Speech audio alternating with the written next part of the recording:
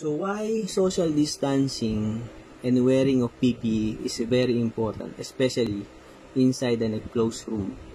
So for this example, I have this 3D CAD model using SolidWorks. I will be able to show to you why is it very important. So I have this patient and the caregiver or the nurse. So using these results, using the CFD simulation, you can see that the patient is having this blue and green color, wherein using the lean air quality index of expired air, if the value is less than 1, it means that the air has more contaminant.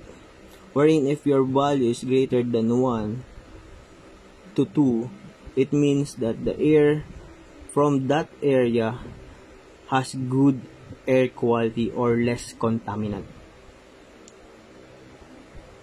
And if we will use this flow trajectory model wherein the air is coming out from this diffuser and will circulate inside the room, we could see that if this one having a good air quality while on this area is having a mix of good and poor air quality.